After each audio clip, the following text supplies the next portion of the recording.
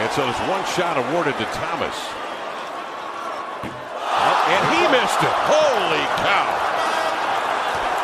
So so now you're back to where you were. See, the Blazers coach is talking to the players. But now you have no time. Uh, you have no Laker timeouts, no fouls to give, and ball to bring it in bounds. Ball will send it cross court to Lopez. He's tied up. Gives to Thomas into the air. Stripped by Napier. Napier with a pick. Damian will handle it, and the ball game has just about come to a close with one second remaining. A foul called against the Lakers. Shabazz Napier leading this club in steals takes it away from Thomas as he goes airborne. Shabazz is the man. Who else makes that steal in that situation